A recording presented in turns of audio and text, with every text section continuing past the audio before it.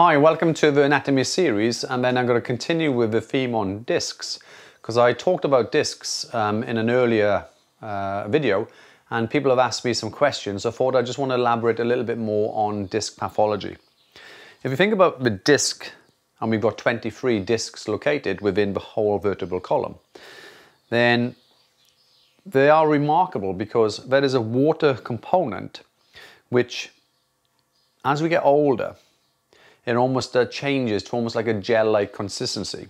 So rather than it being like a true water in the operative word, it's more of a of like a like a paste within like a tube of toothpaste. So it's like a like a thickened sort of gel. And as we get older, no doubt that gel or the water type of fluid will deteriorate.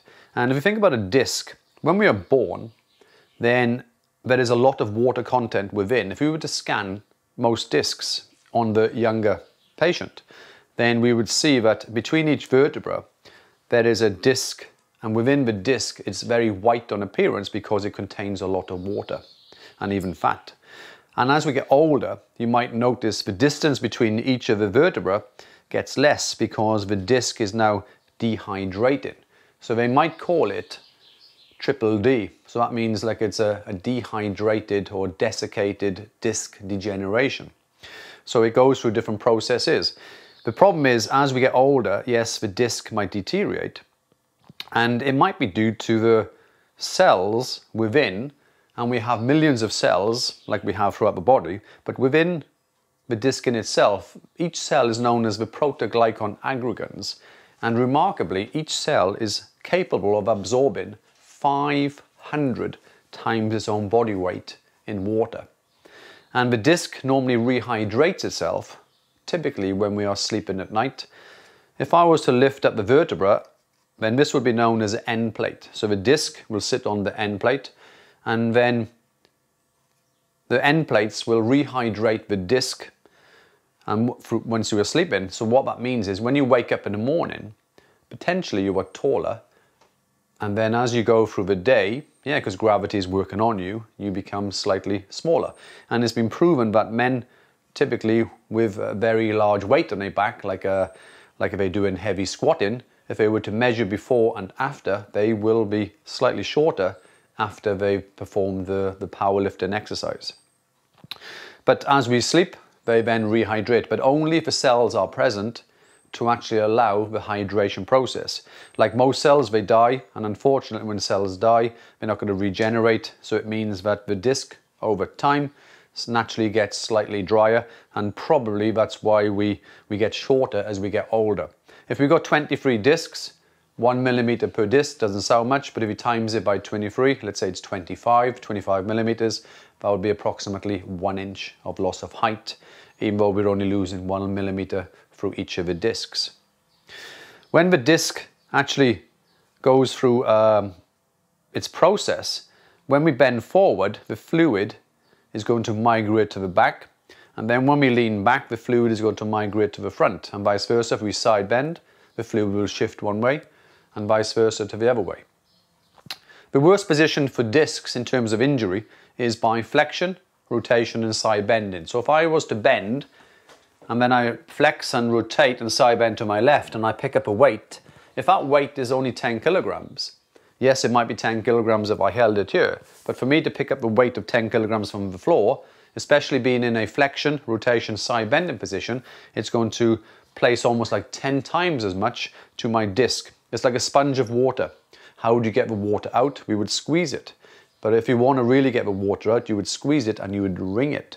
And that's what's happening when we flex, side bend and rotate. We almost wring the disc.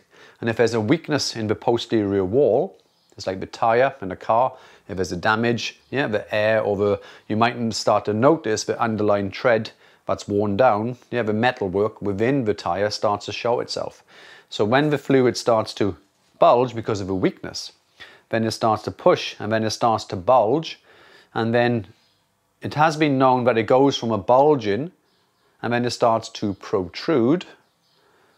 And then from a protrusion, it starts to extrude. These are almost like similar processes, depending on what book you read.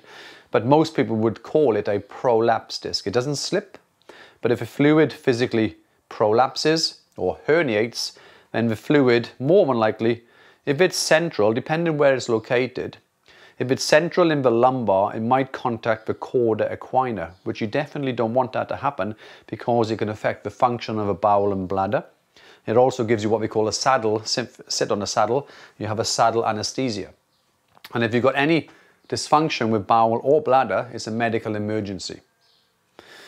If it does contact the nerve that exits left or right, because to prevent it from going central, there's a ligament called the posterior longitudinal, but then if it does migrate through the ligament or change the shape into the equina, you'll get those symptoms.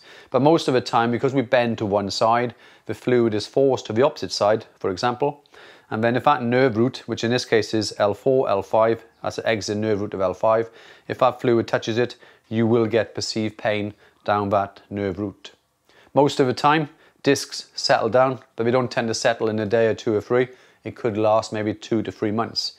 If you still have pain, when I mean pain, everything hurts, coughing, sneezing, bending, sitting, lying, driving, anything, sleeping, then you probably find um, you'll be recommended to see the, the spinal surgeon and then he might end up doing what we call a, a micro discectomy where they'll go in through the lamina here and they will go down and then they remove part of the discs that's contacting the nerve root.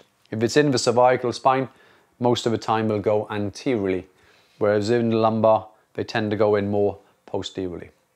So there's a little bit more information about pathology and anatomy of the intervertebral discs of the lumbar spine.